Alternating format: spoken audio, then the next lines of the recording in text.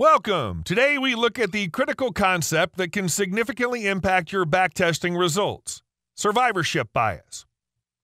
What is survivorship bias?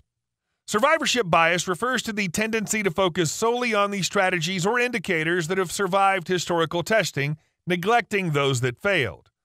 This creates a skewed perception of performance, potentially leading to overconfidence in seemingly successful strategies. We do the same mistake when we dream of becoming a millionaire trader or rock star. We look at the winners and we forget the millions who try but fail. Think about this. Research shows that the majority of stocks perform poorly over their lifetime. Most of the gains in the stock market come from the few outliers, and we only know those in hindsight.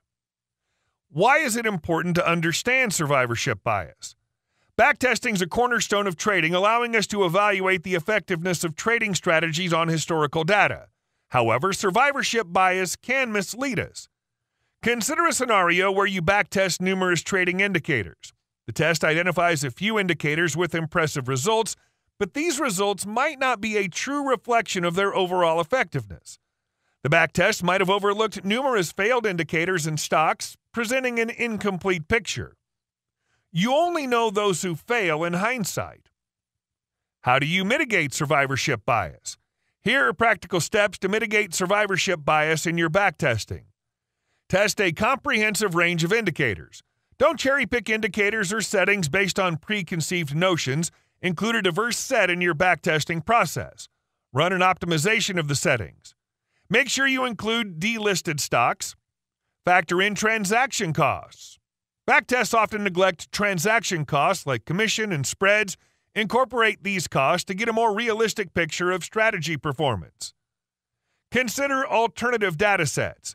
Don't limit yourself to a single historical period.